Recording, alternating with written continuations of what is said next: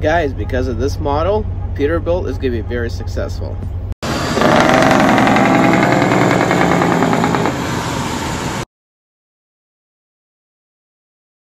Hey guys, welcome to the channel, I'm Eddie V. If you're into the channel, go ahead and hit the subscribe button and like this video. Guys, today we're going to be talking about the Peterbilt 589 and my opinion of it. There's been a lot, a lot, I mean a lot of mixed reviews about this. A very popular Minnesotan trucker hates it. I personally like it. It is, they should have done this to the 389 and now they're now they came out with the 589 the Peterbilt 589 is a beast. And guess what, guys? They're still going to offer manual transmission in it, which is just awesome. And also, it's going to come with either a Cummins X15 or a PACCAR. I would stay away from PACCAR just because of their reliability issues and go with the X15 and delete them X15s when the DPF system goes uh, about 500,000 to a million miles in the um, it, when you start driving it. Now, it's against the law to delete the truck, but you make the choice.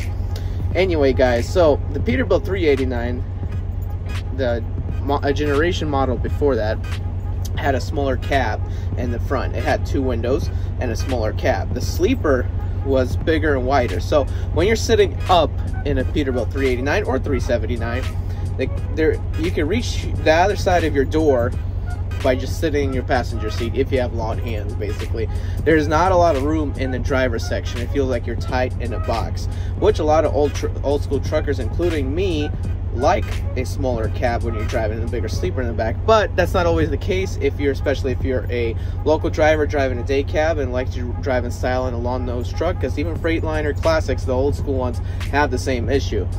And the peterbilt 379 389 just have small cabs with bigger sleepers so eh, there's just not a whole lot of room, especially if you have a small sleeper then like a, a dog house sleeper, then basically, or a flat top sleeper, basically you guys gonna have hardly any room to put any of your stuff at all.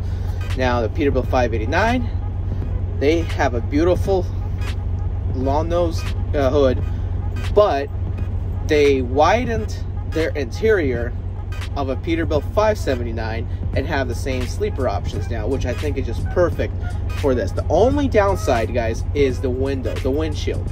Windshield is no longer a two-piece glass. It is just one piece.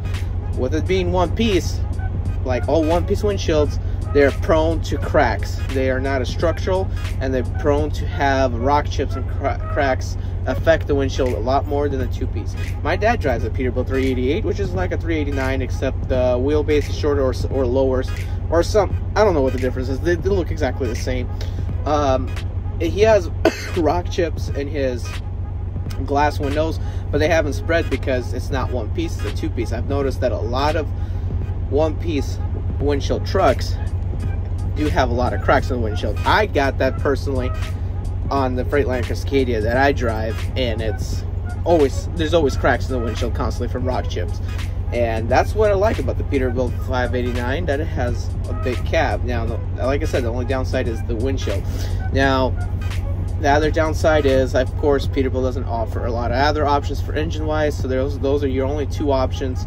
If you do want to put a glider kit in there, it's not called a glider kit anymore. It's called a rebuilt rebuilt kit, which is you buy a wreck truck or truck with a blown up motor and you swap the motor and you have a rebuild kit instead of a glider kit. You're no, no longer allowed to order glider kits from the dealer or factory because that ended in 2020. Now guys, the price is going to be, uh, be priced about the same as a Peterbilt 379 with um, orders coming in at the end of 2023, I believe, or the start of 2024. But you can already pre-order them and be good to go on the road with them. Now, what I do like about uh, Peterbilt is they're not going electric. Uh, as far as I know, they may have some concepts, but as far as I know, they're not go going electric because Cummins, who there is their main supplier of engines, just came out with the X15 hydrogen model. So we're yet to see that come out and put in trucks and see how well it runs and how much power it puts and torque. But if Peterbilt stays away from electric trucks and keeps making these long nose hood trucks, they'll be in great shape and they'll continue to be successful and selling Peterbilts. Unlike Freightliner, that's down the grade, and I'll explain in a later video uh, how bad Freightliner actually is. So, I'm pretty much excited about this Peterbilt 589. If I had the money, I would actually go and order one myself because under warranty, you can drive up to 500,000 miles. Have an issue of death, take it to dealership and stuff like that.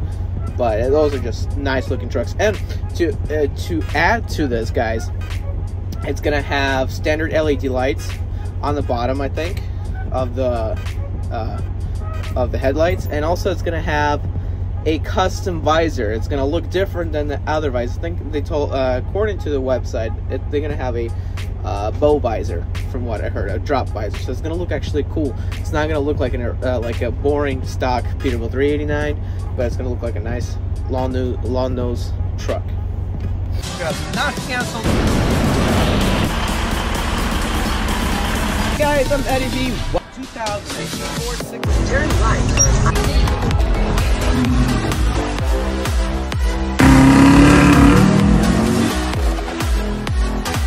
Guys, this particular pack.